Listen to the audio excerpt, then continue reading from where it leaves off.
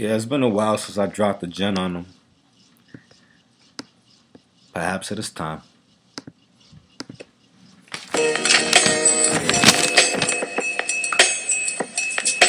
Uh, chick.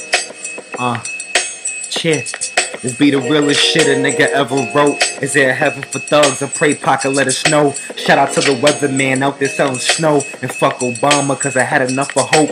A beautiful lie, stay true to your eye. Cause deceit is when Judas and the demons arise. And I know, they told me I could be the best rapper if I sold my soul. I told them my answer is forever no. As word to the son that was born in the major. I would never sell my soul to be bought by a major. Since my word is my bond, I break bonds with Shaitan. And consider this freedom. I hold no allegiance to the one you call legion. They told me I could be even greater than Jesus. The Beatles believed it, but to me it was facetious. Like Mary Magdalene bearing the seeds of Jesus. And I dropped ether, my soul's not ready. They tried to make it rain and the storms got buried. Jelly.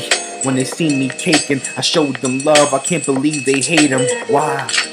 Why? You wanna see me die? Crucified, cause Judas lied. Now the rumors fly about you and I. And I don't need this, I need Jesus.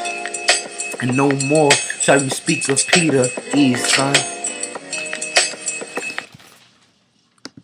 See, as you could tell, like I'm taking a break more so from like the aggressive content, and um, I'm starting to reflect on on issues that were prevalent to me, you know. And for a while, I kept I kept this dynamic hidden, but I'm ready to reveal it, and and just reveal like the the the part of me that was somewhat sheltered from the world to the to the general public.